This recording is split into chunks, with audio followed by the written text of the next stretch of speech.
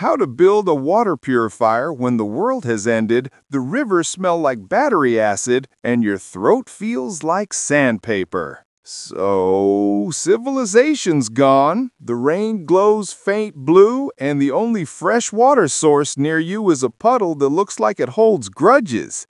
You need drinkable water before your organs file a formal complaint. No worries. Time to make your own purifier from trash and stubbornness.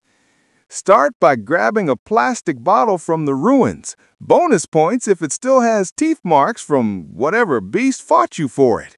Hack the bottom off with a knife, a sharp rock, or pure rage.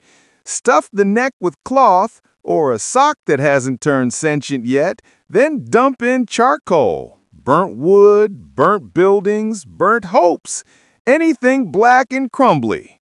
Add sands you brushed off a collapsed playground.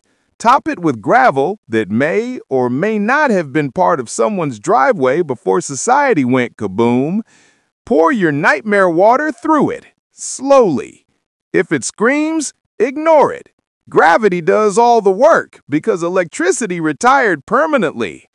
The science? Charcoal grabs the nasties, sand catches the dirt, and gravel filters out the chunky regrets. It won't fix radiation, but it will make swamp juice taste less like betrayal. If the water looks clear and doesn't hiss at you, congrats! No bottled water? No problem. Just trash, panic, and science keeping you alive another day.